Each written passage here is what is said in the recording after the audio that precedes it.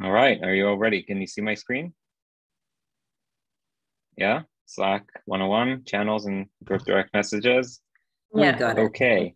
All right. Uh, so, so first of all, uh, thank you so much, uh, Susie, for helping uh, put this uh, session together. Um, Susie actually put together kind of like a brief email um, kind of a guideline um, for getting started on Slack.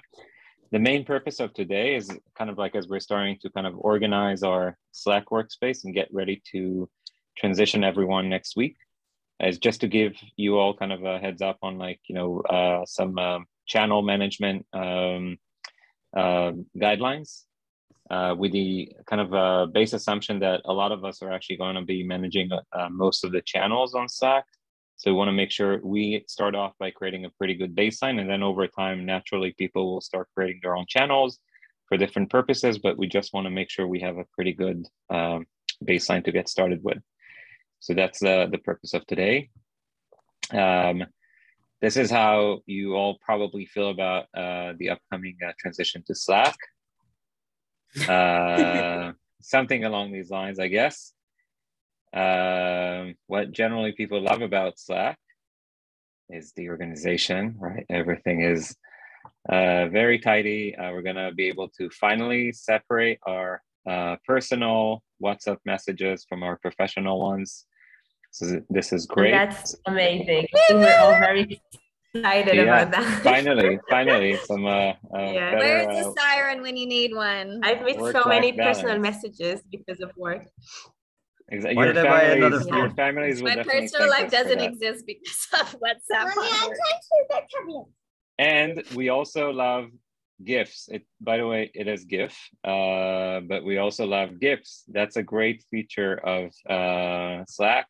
And there are also a lot of other fun features other than just kind of like GIFs. Uh, it's just a very um, uh, great boost for uh, productivity and uh, efficiency. It is GIF uh, and what we all hate.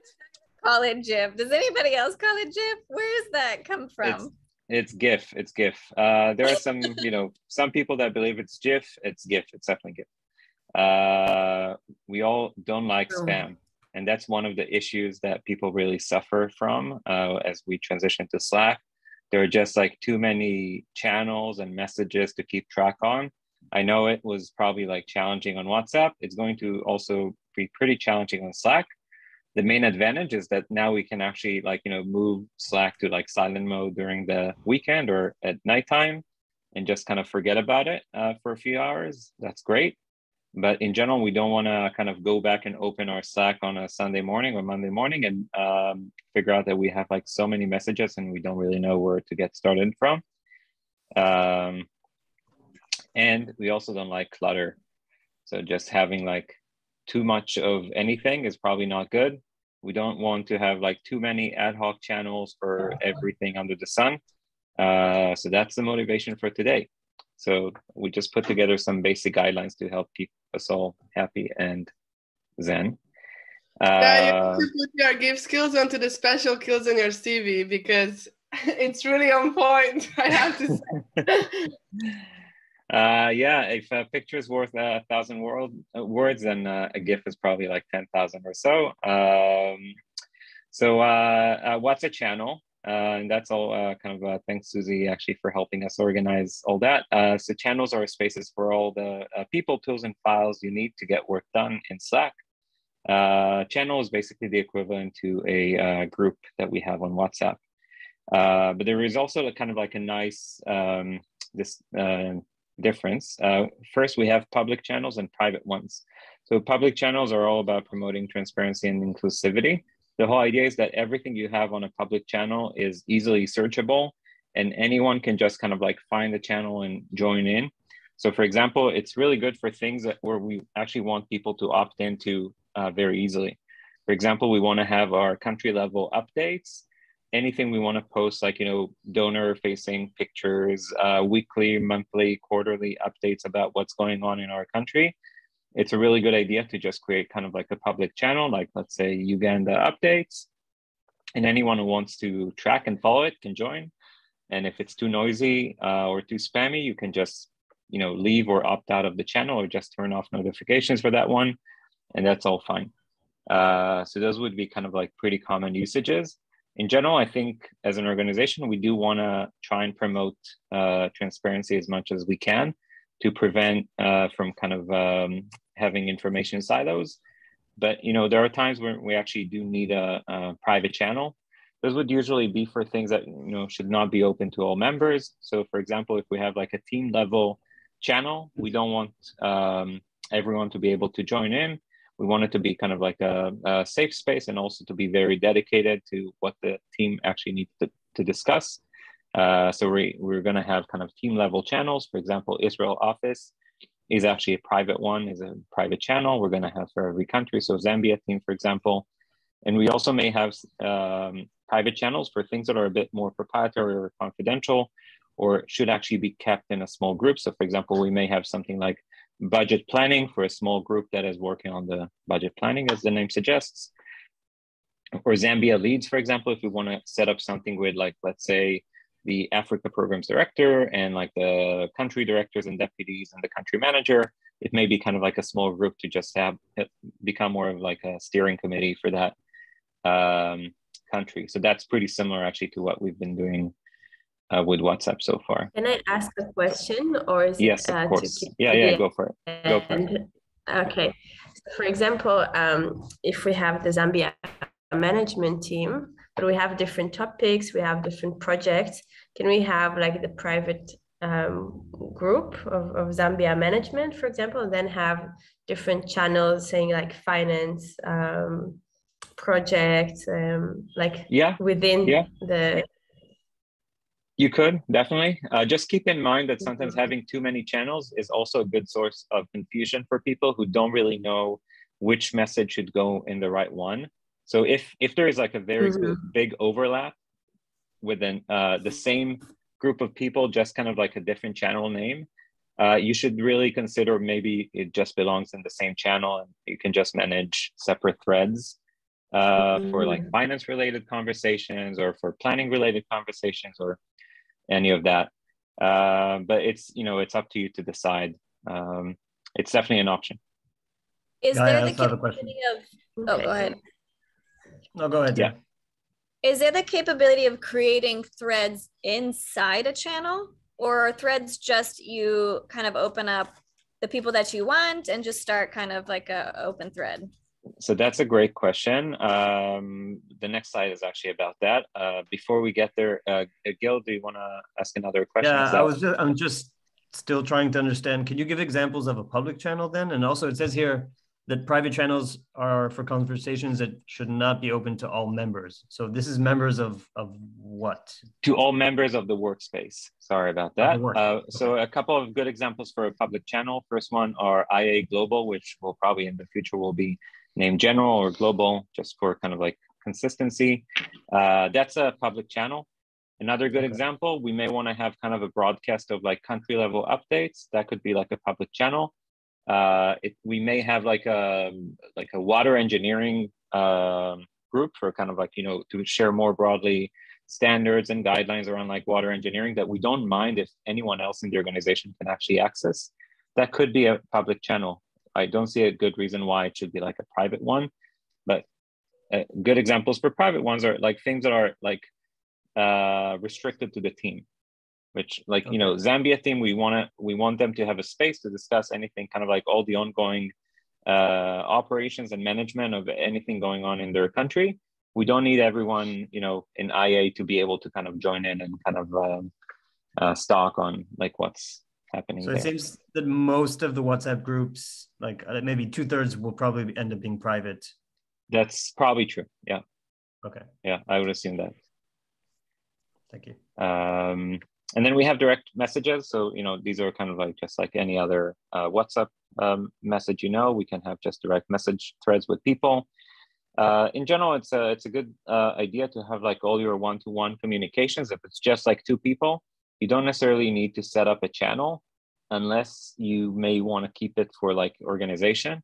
But again, this is where I would go back to my previous point uh, to Tamar, is that uh, it may actually create confusion in terms of like what goes where.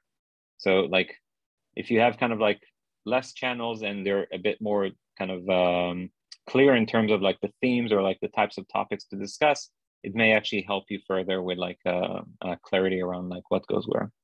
So ideally, for example, if I have like a one-to-one um, um, channel, you know, with uh, Terra, for example, like I would probably just want to have like a direct message and just everything is uh, being kept there.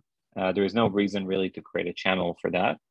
Um, but we may, for example, find ourselves starting like a direct message, starting to discuss something which is ad hoc. And then over time, we realize that we may actually want to add a few more people into the conversation.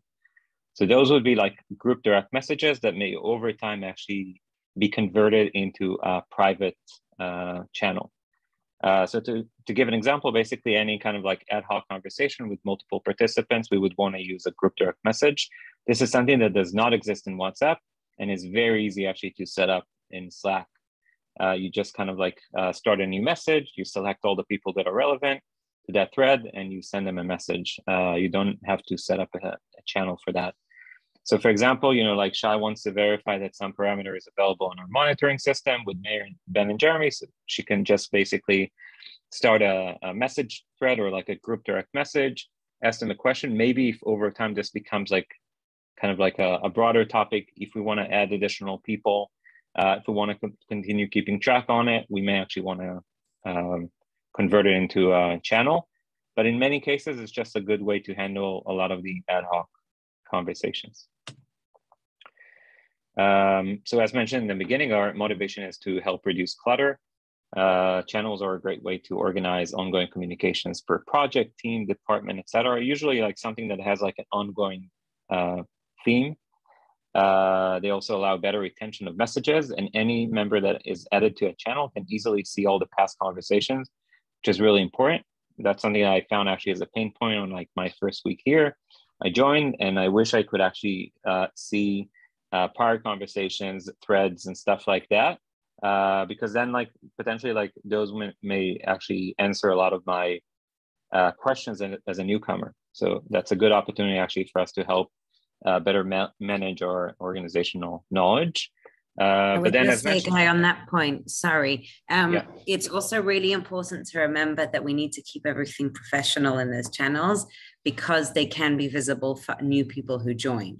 Um, so obviously, it's absolutely great. Have all the personal conversations you want with your teams. Be close with everybody. It's lovely to have a great rapport. Um, but just to be mindful of what is said in those channels because anyone who joins can see the rest of the history. So not to then, you know, say, oh, you know, such and such, what a pain, because it's going to be visible moving forward. So just to try and keep that in mind, yeah. I guess, in these open groups where other people can and, and will join at d- different times. I'll give a good example. Uh, when we're discussing, for example, like potential candidates who may join the team, uh, you probably would not want to do it at the uh, team channel uh, unless this is kind of an update about, hey, like, you know, so and so just signed and they're going to join next week. We're so excited.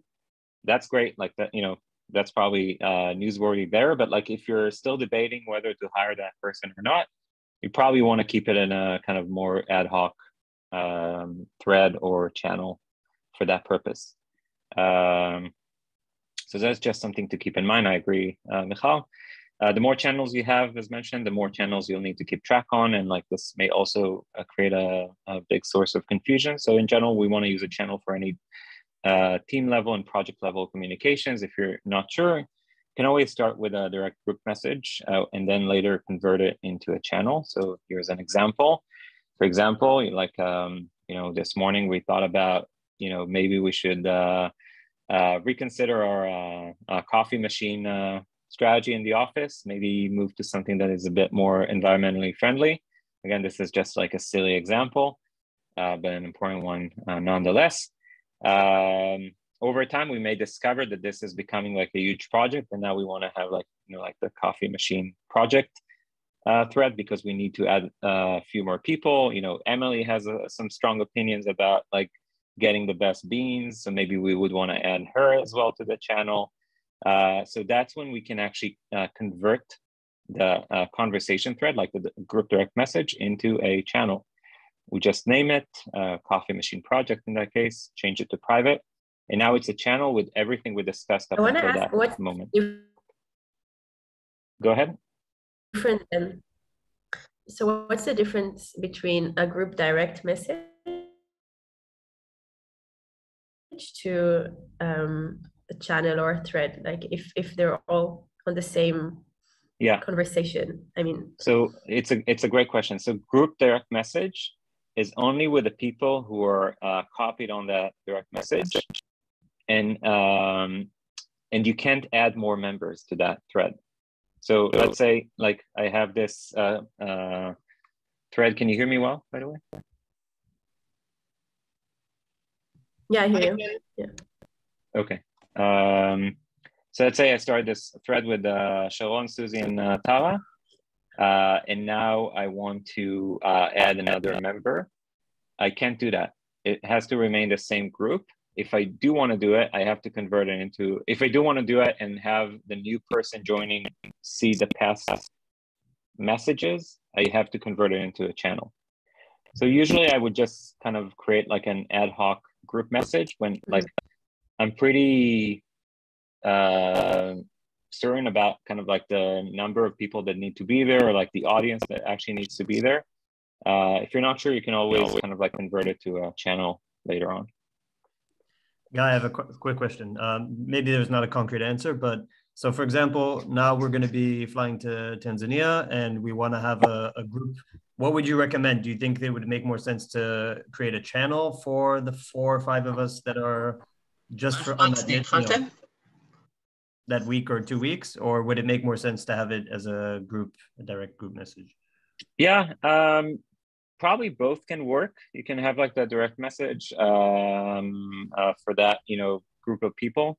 You can also create a channel for that and then just archive it at the end of it. So we can have like, you know, Tanzania, February 2022 trip. You can archive uh, and put it aside. So it's not. And then at the... the end, you can just archive it and just kind of remove it from your list of channels and you don't, if you don't no longer need it. Yeah.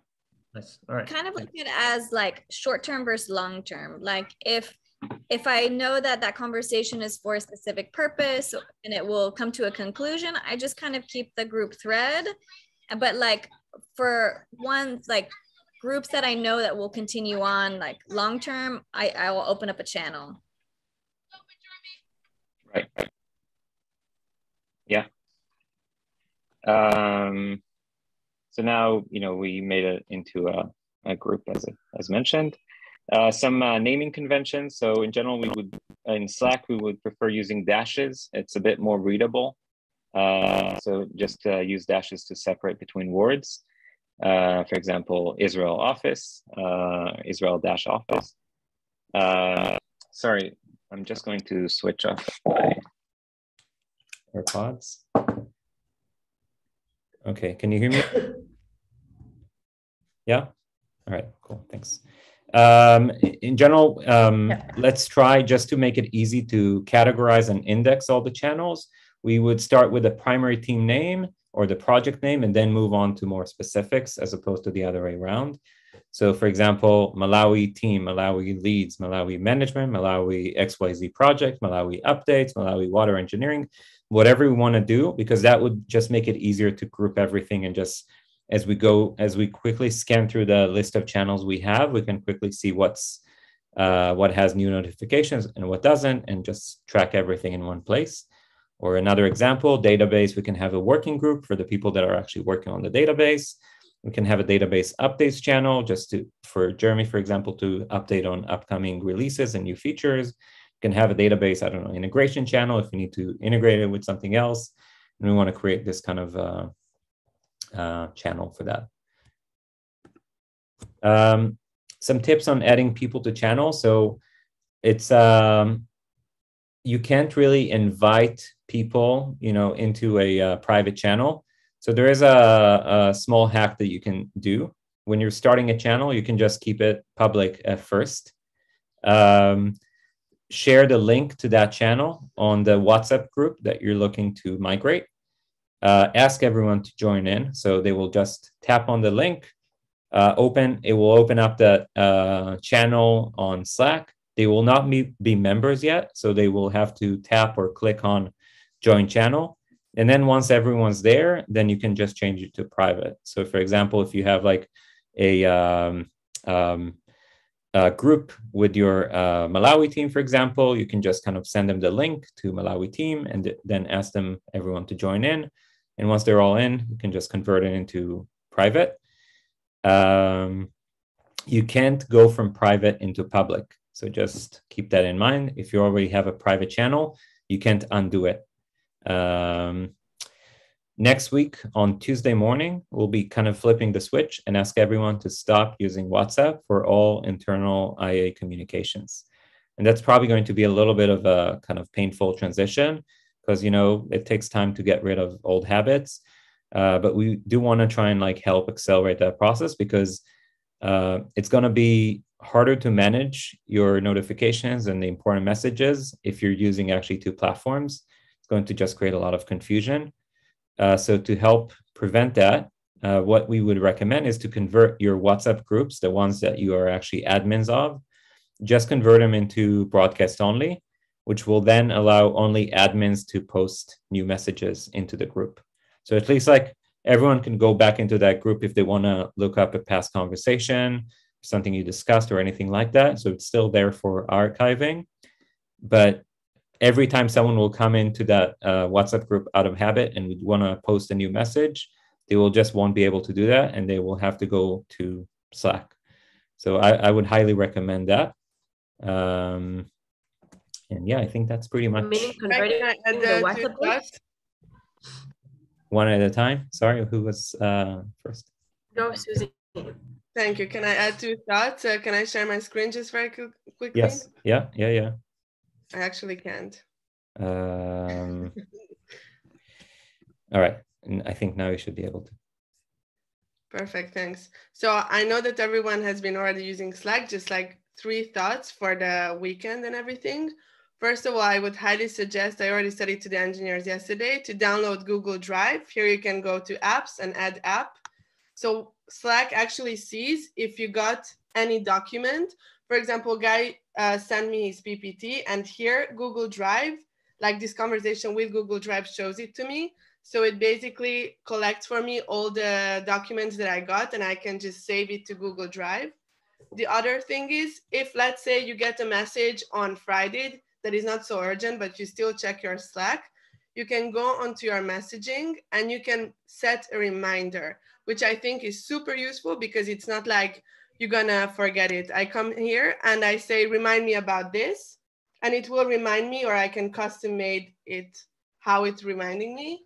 And the last thing is that if I want to reply to someone, but I don't send reply, I can, uh, it will save it as a draft. Let's say I want to reply as a thread. I know we'll all talk about this on Monday, probably when Guy gives us the big uh, presentation, but these are so many things like such useful things that I just wanted to say very quickly.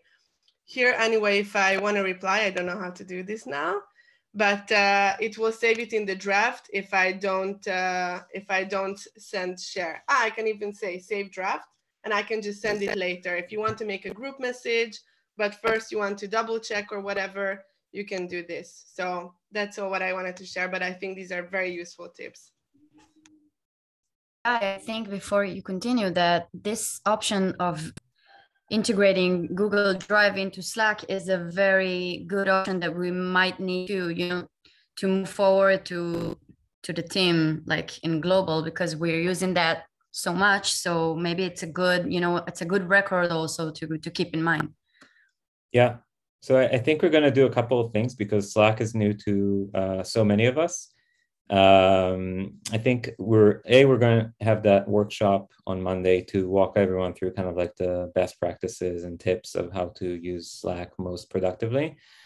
Obviously, we want to be able to cover everything, but we're going to create a public channel for like Slack hacks or like Slack tips for everyone to just kind of like follow and uh, just get kind of uh, more ongoing tips or even just share with one another uh, ongoing tips and best practices. There are a couple of other uh, really useful apps like the Zoom app is really good because then you can just very easily start a, a Zoom uh, call from within Slack. Super useful. The Google Calendar one is also pretty useful because then you can schedule things directly from Slack. Um, there are quite a few things that you can do that would really boost everyone's uh, uh, productivity. And I think some of it is just going to be kind of like an ongoing discovery process. I, um, I'm assuming the answer is no, but is there any way to transfer conversations from WhatsApp groups to the new Slack groups? Uh, you can you're... export your WhatsApp chat, by the way. You can uh, go to your WhatsApp chat and export it doesn't chat. work. I tried like to see if there's some sort of integration of of mess, like messages that we could move, but I don't, I didn't find anything. Does anybody else find anything? So what One I thing... would do is I would export the chat and I would just send it into my Slack chat, like that file that you exported, that zip file. You just send it to your Slack chat. So you, whenever you need, you can open it if there's no better way. Yeah, I would do maybe what Susie is recommending as a hack. Uh, but again, it's, there's no easy way to migrate all the past messages, unfortunately. Um, yeah. Um, also, just I know that we're starting with internally, like internal groups and everything that we're moving over, but um, at some point we should talk about maybe I missed it, but about contractors, vendors, everything else, because we have a ton of WhatsApp groups that are with other people that are not going to be on our Slack channel uh, or Slack um, workspace. And so just to understand what that would look like, because we have tons of groups that are still going to be on WhatsApp for those. That's a that's a really good point. Um, that's going to be our kind of next phase is to figure out our third party communications. For now, we just wanted to focus on internal ones and just declutter everyone's WhatsApps. Um, yeah, there are like multiple channels that we can consider. We're going to have also Odoo, or we have like a CRM system to help us manage these communications. Uh, we can use emails. There is actually a pretty seamless integration between between emails and Slack. So, for example, we can have all the email messages we get from third parties actually being uh, forward that automatically into a Slack channel. There are quite a few good um, uh, uh, things that we can actually do, but we just kind of like want to look at things more holistically and figure out what's the right long-term solution for all that.